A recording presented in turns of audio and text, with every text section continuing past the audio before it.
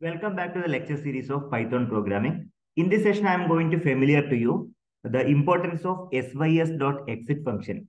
How to exit the program in premature fashion. That is actually the use of sys.exit. Let's understand the importance. You may get the examination question like uh, write a brief note on sys.exit function. How will you explain that? Yes, we'll study that. So moving on to the discussion. Uh, if I talk about like uh, sys.exit.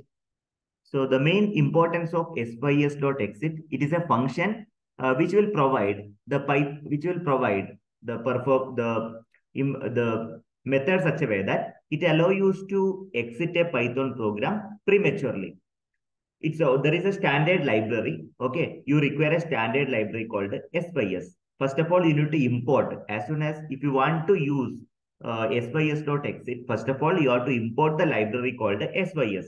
Okay, it's a library which is available in Python. We can access. How to access? I already explained the previous session that in order to uh, import the module, we need to use the keyword called import. Fine.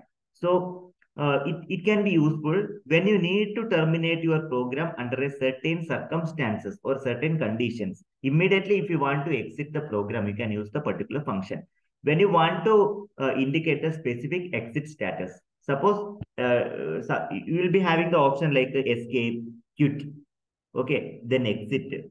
Uh, such kind of cases, if you want to apply, if you want to come out of the program, type exit.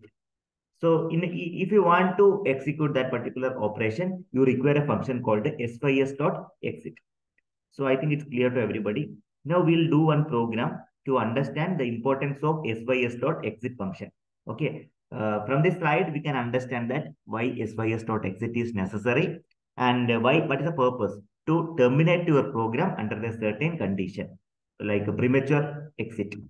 So how to, first of all, you require a module called sys. How to import the module? Yes, of course. You can use the keyword called import. Using the import module, you can import the library called sys. So use sys.exit to terminate the program. So there is a simple example. As you can observe, first of all, you have to import sys. Later, you can create a while loop. Okay. Uh, then uh, type exit to exit.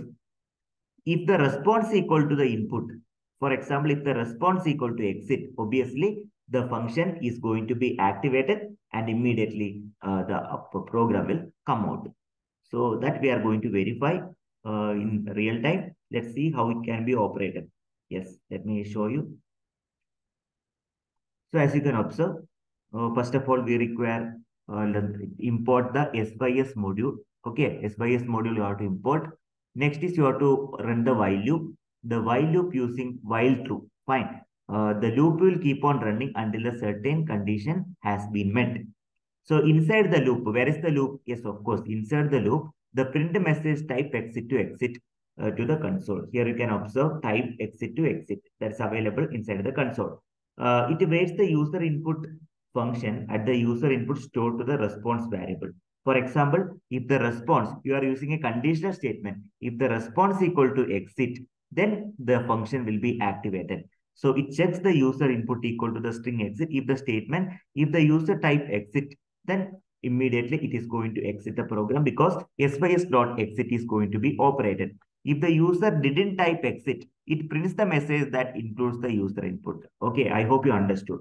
It will work whenever uh, the user is typed as exit, immediately it will come out of the program. The loop, they will continue another three to six steps, promoting the user for the input, enter the exit, and which will point out the program for the exit. These are the algorithm for this particular program. Hope you understood how to uh, make out the algorithm for a simple program. Examination point of view, you can expect the question like a write a brief note on sys.exit function. Now we are going to work out how to operate this. Let me open the Jupyter notebook. So I'm going to uh, type the program. So let's see how uh, the sys.exit function operate. We uh, already explained the program. Okay. So now uh, let me run this. Uh, type to exit to exit. So what I'm going to do is, let me type exit. Okay.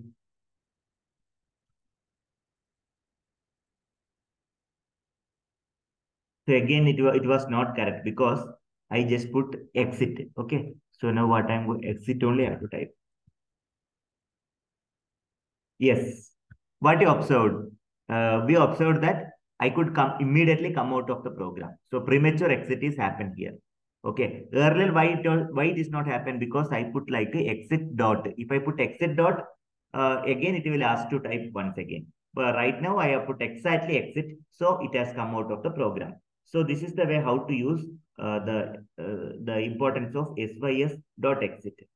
Let me know if you have any queries. In this video, I discussed about the importance of sys dot exit function where it is used some unavoidable or some other circumstances, we can make use of SYM, SYS.exit. Thank you so much for watching this video. We'll come up with a new topic called function in the forthcoming session. Thank you for listening.